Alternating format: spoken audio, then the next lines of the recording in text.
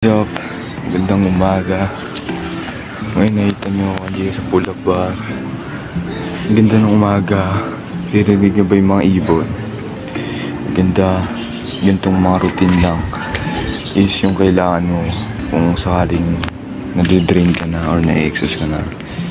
Yo, minsan kailangan nyo na talaga ng ganitong klaseng place na nakikita nyo nature, naririnig nyo yung mga ibon, sisikatan kayo ng araw, pupuso ko dito nina.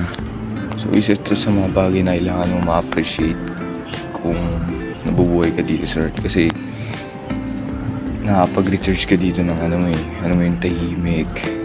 Ah, nagre-research ka sa nature so ito yung pinaka heal, natural healing process ng mga tao na hindi alam ng karamihan.